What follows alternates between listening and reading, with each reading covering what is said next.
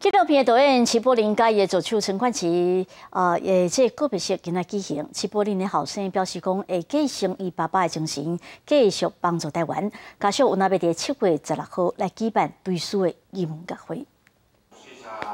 低调无啊，双手放在行前的姿态，看到纪录片导演齐柏林的这张相片，大概个别的各界人士就唔敢。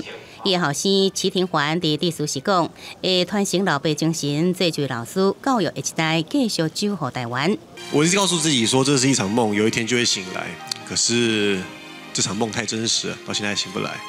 我认为我跟我爸爸做的事情都是在帮助台湾，这过程中，我自然会继承我爸爸的理念、精神。前总统马英九跟胡林周碧清也来到现场致意。邱碧清更加是以拥抱方式来温暖支持。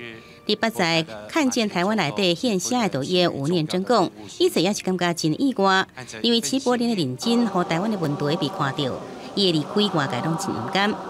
那他很认真做了一部电影，让大家所有人都可以去看到台湾的哀愁。那我觉得，我们活着的人如果有可能，就继续爱护这个岛屿吧。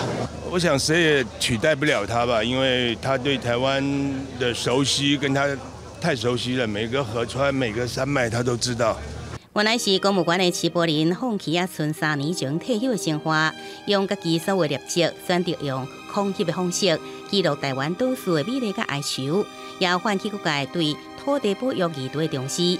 种植也未完成的齐柏林会种在金宝山园区，李家秀也在七月十六号举办对书音乐会，后面将有机会送伊最后一场。记者综合报道。